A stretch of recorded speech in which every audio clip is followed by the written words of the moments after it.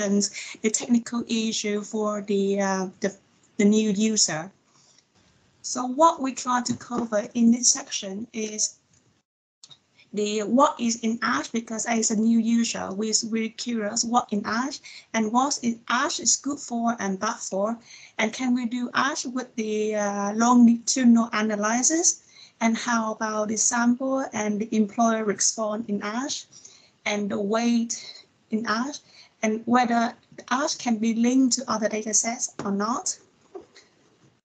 So the first point I want to say that in ASHE, so as you know, some of may you know that ASHE is the annual survey of hour and earning data sets. And then it is 1%, 1% sample of the employees in the PAYE system. And it is sampled in April every year. And the data is provided by the employer, so that is quite reliable. And you know that the ASHE available from 2004 onward and its predecessor is the new earnings surveys. They start from 1975.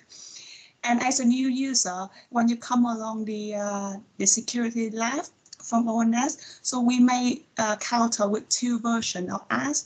So the first version is the standard ASHE. That is the, the version that uh, traditionally provided by ONS for long. And then the the, the, the new one is the one that the wet team are working on is the, the enhanced ASHE uh, which is provide more information about the additional variable derived from the apps the, the wet team because the wet team may feel that it's uh, may be useful for you to use and also some additional variable that extracted from the ONS archive So what is ASHE good for? So ASHE is good for uh, doing uh, when doing the wage analysis because it provides a detailed and accurate accurate information, also including the incentive pay and overtime pay as well. And also in terms of the uh, geography analysis, because ASHE is also have uh, the data information about home and work postcode and uh, in terms of the job characteristic, you uh, ASHE also provide the data about the full-time, part-time, specific uh, number of hour, occupation, and apprenticeship variable.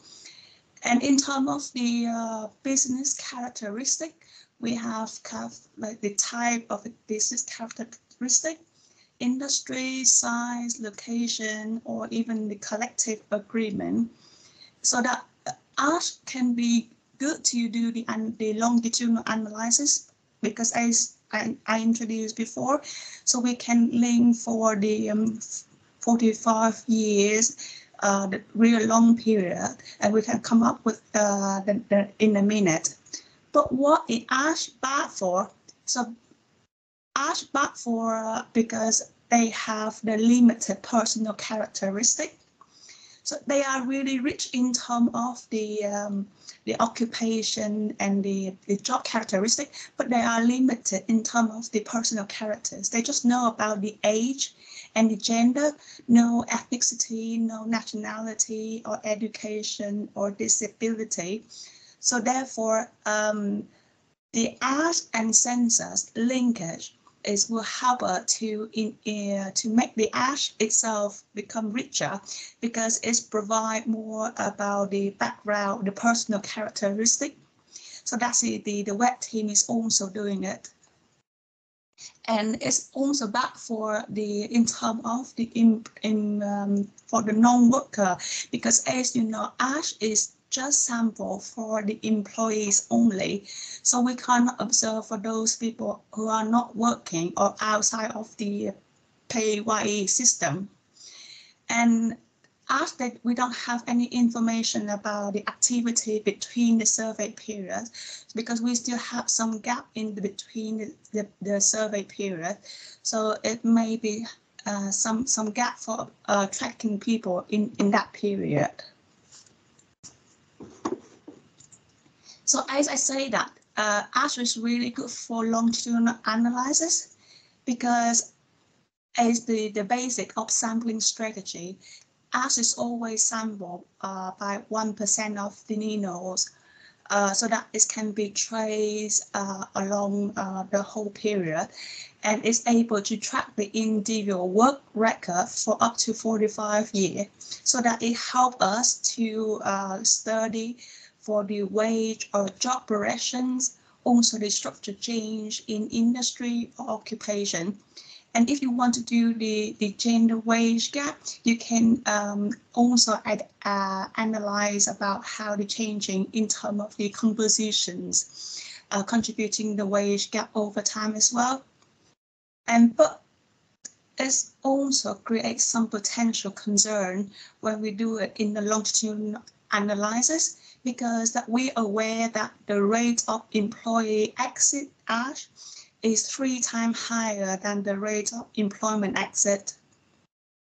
And the employer non-response is also um, a problem. And then the, panel attrition seems non-random.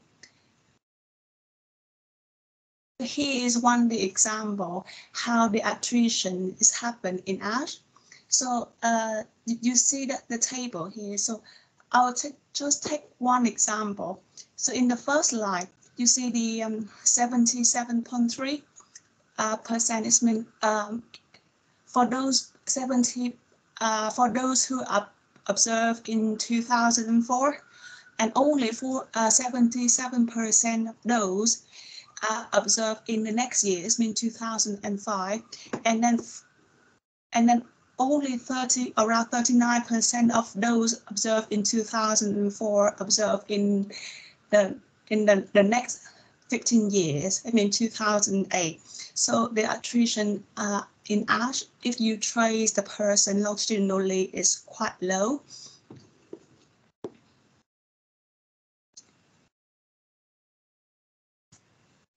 And then how about the sample and the employer response in ASHE? So as we know that the sampling frame is uh, based on the HMRC record of employee who register for the PAYE system. So ONS have the list of the, um, the, the people with the NI number. And then ONS will write to employer at the address which is identified by the HMRC already. And the employer will respond that um, um, to, to, to ONS request so the large employer can supply an ONS with the extract from the payroll system or some other employers, they may um, supply back by the paper or even electronic forms with uh, some fields already reviewed. And then at the end of the day, when we are uh, trying to uh, understand ASHE deeply, we we found that like the attend sample is just around 0.76%, not quite 1% as, um, as in principle.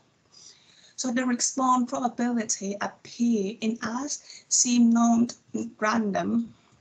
So therefore, uh, we try to incorporate some way to cover that uh, in, in the ASHE wet project as well.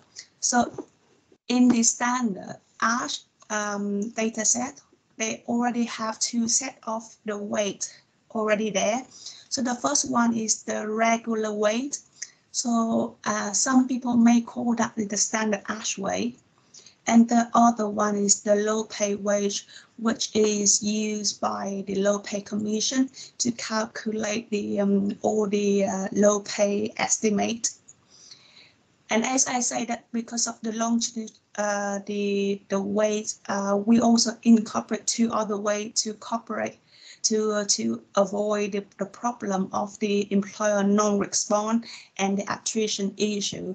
So we will have another two ways here the full uh, paper, the full methodology note will be uploaded later because we are still working on it and finalize it. So uh, please keep an eye on, on our website so you can see the, the methodology note about that. And then ASHE is also able to link with other datasets. So, um, for example, ASHE can be linked with the AD, uh, IDBR dataset. So from ASHE 2004 onward, they, they can be linked with the IDBR because they have the IDBR reference in ASHE. And then it also can be linked with ASHE um, with census data. And then the WET project's already um, undergone the linkage ASHE with the, the 2011 census.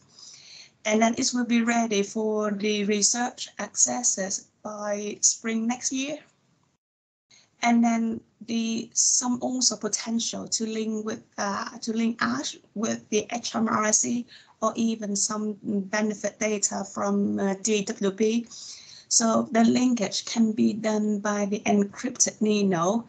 So it, it's still uh, not done yet, but it's may uh, it can be.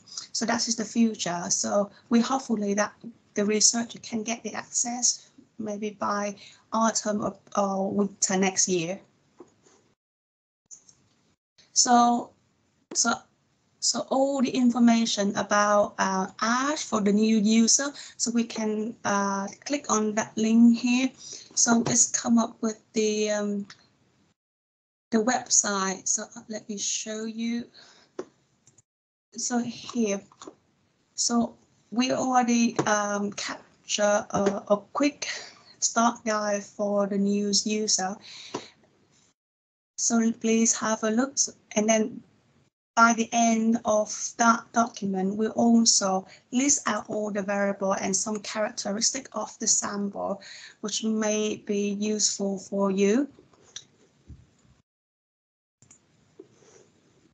And then I think uh, that's it for um, the cover for today. So thank you for listening. So any question or feedback. So we hope to get some more feedback so that we can make the user guides more friendly and more um, informative.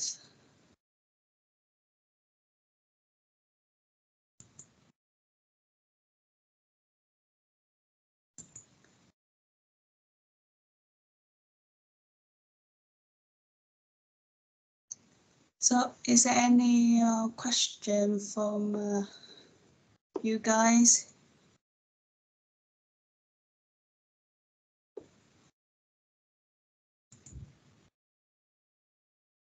Hi there.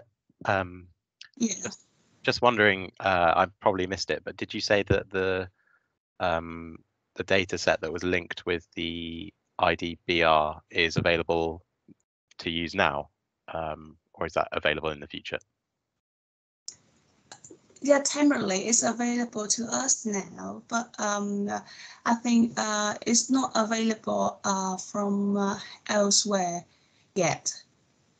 Okay, So because yeah, so I think it will be due uh, due soon. I think by spring next year. okay, thank you.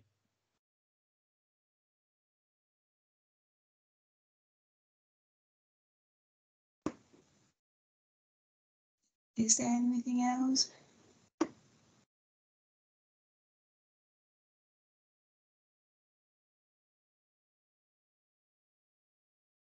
So if not, maybe I can get some feedback, please. So whether you feel that this section is useful um, mm, or not, and then what you expect from the next training section.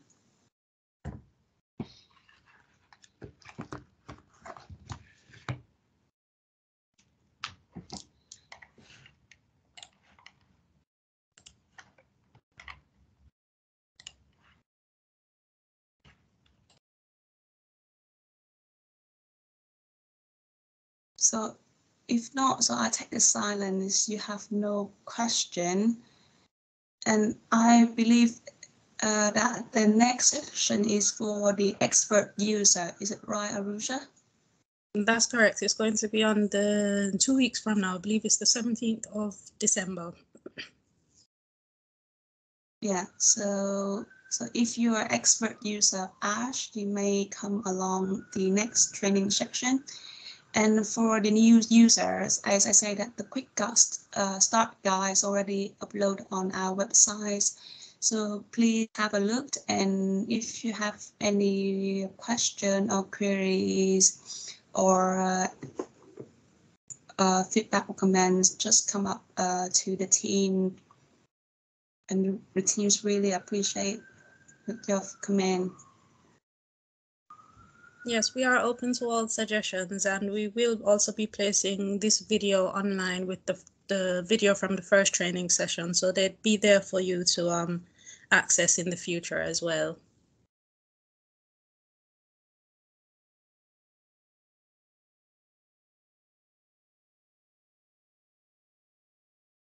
Okay, if there are no more questions, I think we can wrap up then.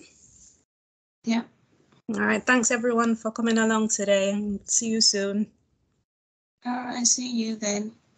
Thank you. Okay, Bye. Thanks. bye-bye. Bye. Thank you.